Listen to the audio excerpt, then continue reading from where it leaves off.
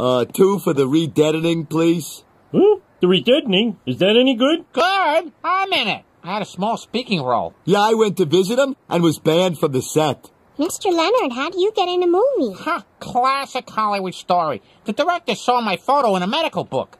Hey, Lenny, is your film appropriate for kids? Oh, yeah, there are lots of kids in it. They fall victim to a vicious... Don't ruin it for me. One adult and four children for the redeadening. Well, I say we grab these front row seats, unless you're scared. Please. You want it so you can almost feel the splatter. Splatter?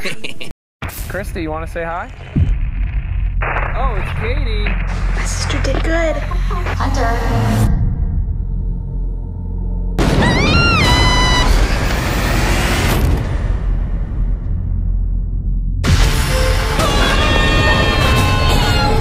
Paid for this popcorn and I'm eating it.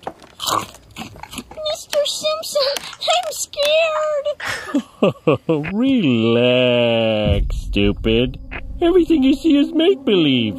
Although it is based on a true story, I don't know what it is, some but I of which know that happened in this very all this weird theater. stuff has been happening since the new neighbors moved in. Lights go off all the time, honey. It's happening again. The motion lights have been turning on and off every night. Yeah, right. I bet you it's gonna be that weird kid from across the street. Watch. Yeah, can you see him? What the hell? He's so creepy. What is he doing? Freaky, right? Yeah. What's going on? Um, I don't know.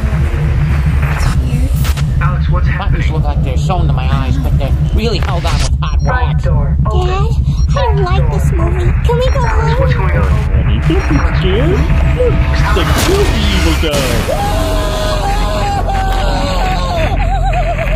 Oh, what do you know? It's unkillable.